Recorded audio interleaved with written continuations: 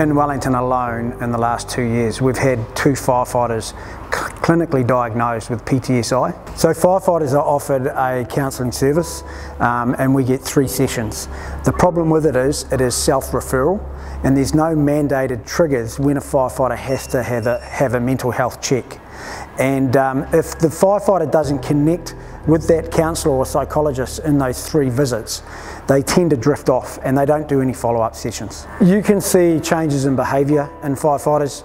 Um, you know, the, the number of medical incidences we're going to um, weighs heavily on them and they feel, I think part of the trigger is a feeling of inadequacy after that medical call because FENZ are only providing us with um, first aid training that an average office worker would get. They could offer further support, not only by what they're doing with their self-referral system, but actually put some foundations down around proper mandatory screening for firefighters' mental health.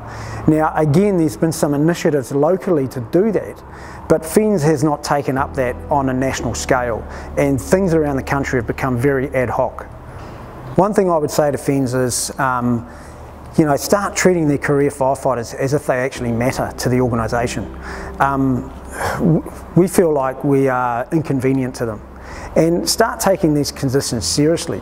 Like I said, it affects all their volunteers as well around mental health. And that's a vast number of people. Um, yeah, and we hope that this doesn't go on for very long. We just want to get back to work.